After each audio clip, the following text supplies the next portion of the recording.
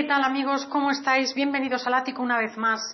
No sé si conocéis este caso, quizá los más jóvenes no, porque estamos hablando del secuestro de Patricia Hearst, Patty Hearst, un secuestro que se llevó a cabo en 1973, es decir, hace más de 40 años. Sin embargo, está más vigente o tan vigente como que nos ayuda a comprender la realidad y viceversa. Es decir, estaríamos una vez más ante uno de los casos que no son lo que parece. La versión oficial del secuestro de Patty Hearst dice lo siguiente. Esta chica es secuestrada porque no es una don nadie, es nada más y nada menos que la nietísima del magnate más importante que tuvo los Estados Unidos desde, los, desde prácticamente la Segunda Guerra Mundial, Wilbur Randolph Hearst. Este hombre había hecho fortuna y la empleó en los medios de comunicación. ¿Qué mejor instrumento para forrarse? ¿Por qué? Porque además Randolph Hearst, el abuelo de Patricia, había sido considerado, ya en los 70 era considerado, como el inventor del periodismo sensacionalista. Es más, este hombre también es famoso porque se le atribuye la chispa de la guerra de Estados Unidos contra España por, por Cuba. Es más, la vida de este hombre es la que da origen a la película Ciudadano Kane, que como todos sabéis es tenida por la octava maravilla del cine, personalmente pienso que es una auténtica bazofia, dirigida por el gordo Orson Welles, un Illuminati, uno de los seres más Illuminati de la industria norteamericana y de Hollywood. Pero esto no sería lo único. Nos encontramos en un contexto en el que hacía ya 20 años al menos que los norteamericanos estaban haciendo pruebas de control mental con el uso y abuso del LSD y otras sustancias alucinógenas en la población norteamericana. Cuatro años antes, la sociedad norteamericana había asistido con horror a la trágica muerte de cinco personas en Cielo Drive, entre ellas la famosa Sharon Tate, esposa de Roman Polanski. Acordaos, y que le habían echado la culpa a esta, a la familia Manson, una familia que se dedicaba a trapichear y vender droga precisamente con altas personalidades y celebrities del establishment de Hollywood.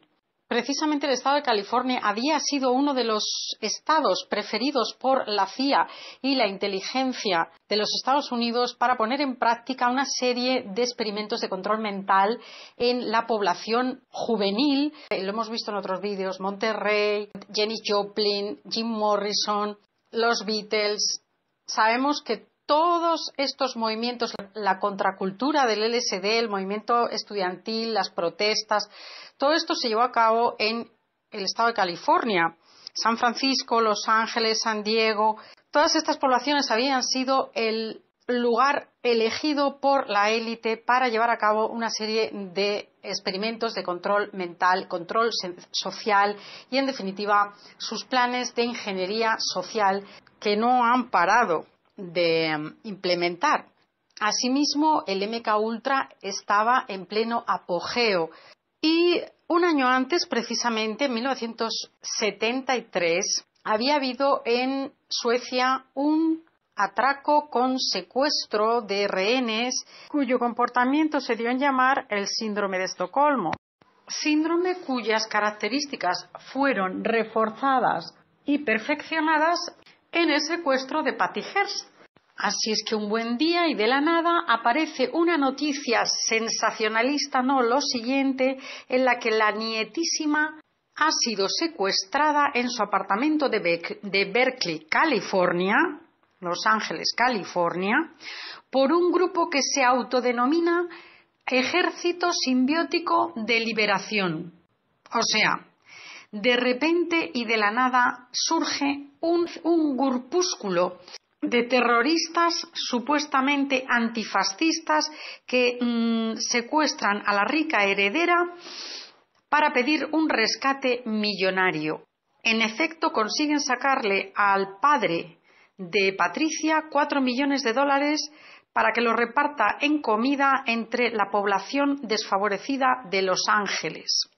Mientras tanto, Patty Hearst según la versión oficial lanzada a bombo y platillo por todos los medios de comunicación, es secuestrada y al poco tiempo aparece otra noticia mega bomba en la que vemos a Patricia Hers convertida en guerrillera, convenientemente grabada por las cámaras de los bancos donde actúa como atracadora. Y esto obviamente recorre el mundo como la pólvora. Y en este espectacular giro que da el secuestro es donde está el tercer y último acto de todo el plan de inteligencia de la CIA, el FBI y, en definitiva, del gobierno de los Estados Unidos. Porque a partir de ahora, Patty Hearst es buscada por la policía y el FBI en concreto como atracadora de bancos. Ella y la organización que se ha atribuido el secuestro y la pedida de rescate. Al final, queridos amigos, toda esta escenificación del secuestro de Patty Hearst tuvo para ella un final feliz.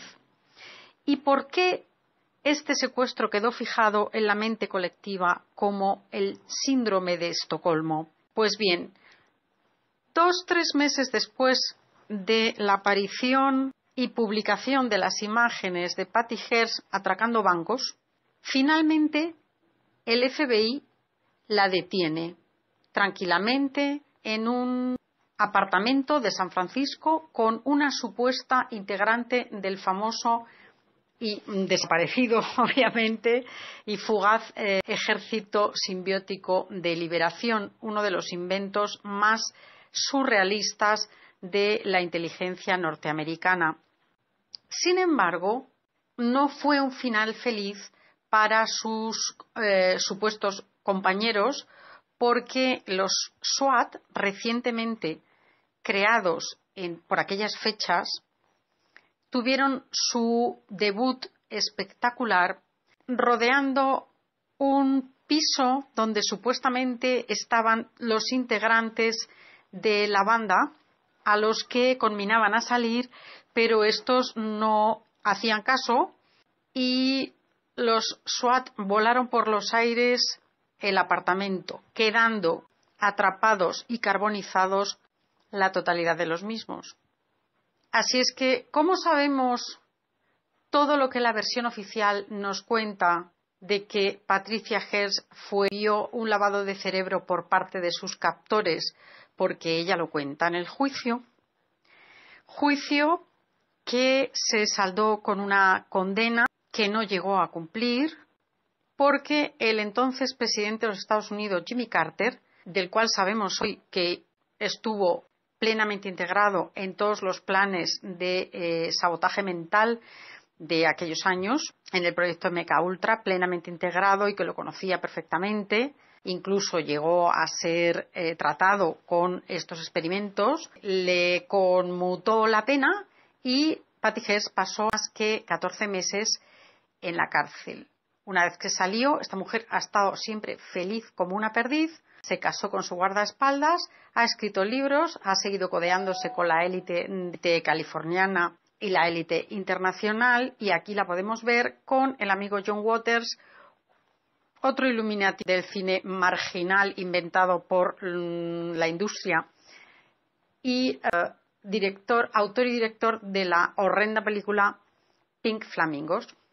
Bien amigos, pues ahora os leéis la versión oficial y os daréis cuenta de que no tiene nada que ver con lo que os acabo de contar. De ahí el poder absoluto de las versiones oficiales repetidas millones y millones de veces. Un saludo para todos.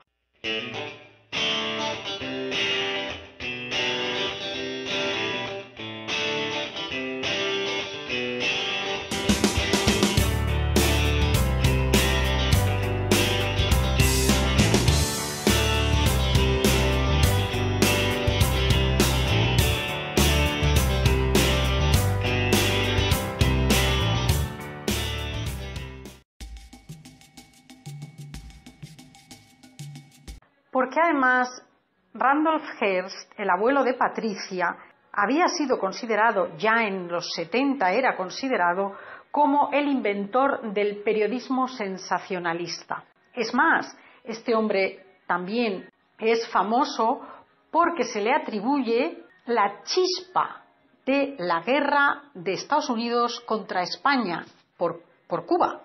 Es más, la vida de este hombre es la que da origen a la película Ciudadano Kane, que como todos sabéis es tenida por la octava maravilla del cine, personalmente pienso que es una auténtica bazofia, dirigida por el gordo Orson Welles, un Illuminati, uno de los seres más Illuminati de la industria norteamericana y de Hollywood.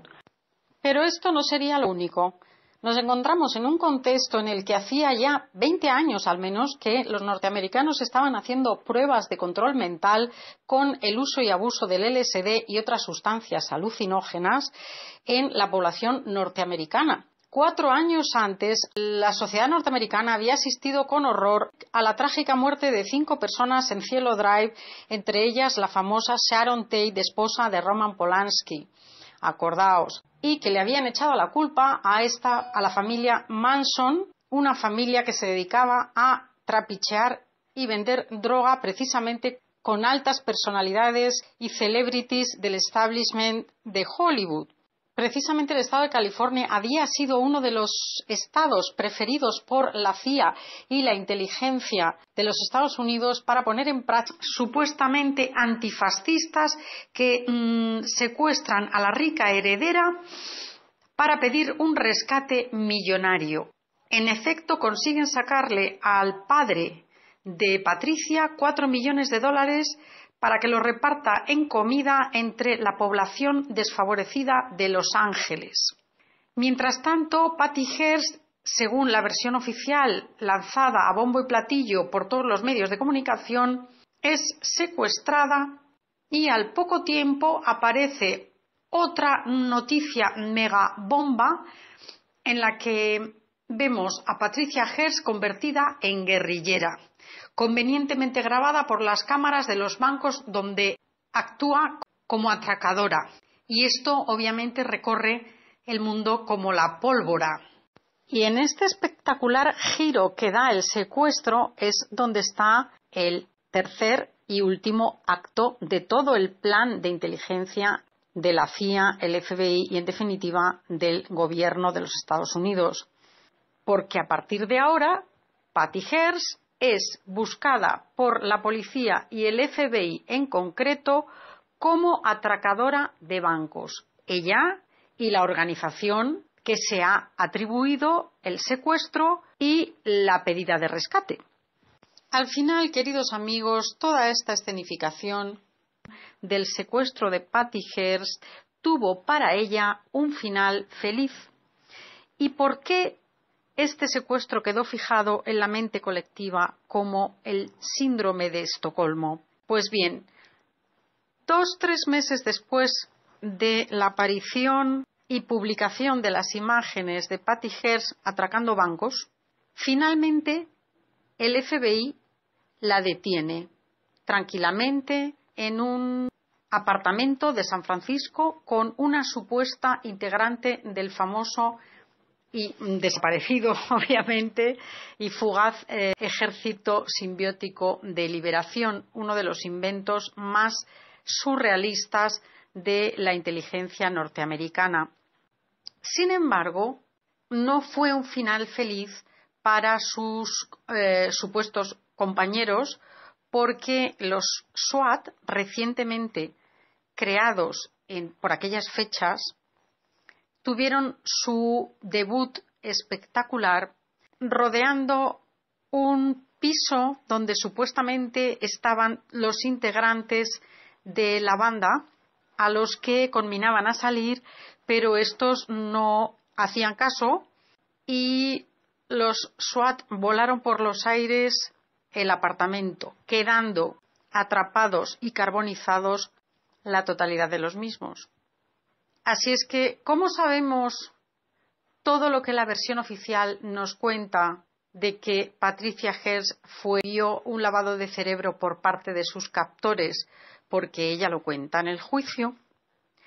Juicio que se saldó con una condena que no llegó a cumplir, una serie de experimentos de control mental en la población juvenil. Eh, lo hemos visto en otros vídeos, Monterrey, Jenny Joplin, Jim Morrison, los Beatles.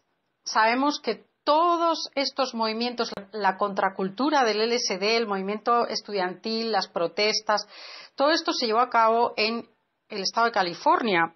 San Francisco, Los Ángeles, San Diego, todas estas poblaciones habían sido el lugar elegido por la élite para llevar a cabo una serie de experimentos de control mental, control social y, en definitiva, sus planes de ingeniería social que no han parado de mm, implementar. Asimismo, el MK Ultra estaba en pleno apogeo y un año antes, precisamente en 1973, había habido en Suecia un atraco con secuestro de rehenes cuyo comportamiento se dio en llamar el síndrome de Estocolmo. Síndrome cuyas características fueron reforzadas y perfeccionadas en el secuestro de Patty Hearst. Así es que un buen día y de la nada aparece una noticia sensacionalista, no lo siguiente, en la que la nietísima ha sido secuestrada en su apartamento de, de Berkeley, California, los Ángeles, California, por un grupo que se autodenomina Ejército Simbiótico de Liberación. O sea, de repente y de la nada surge un, un grupúsculo de terroristas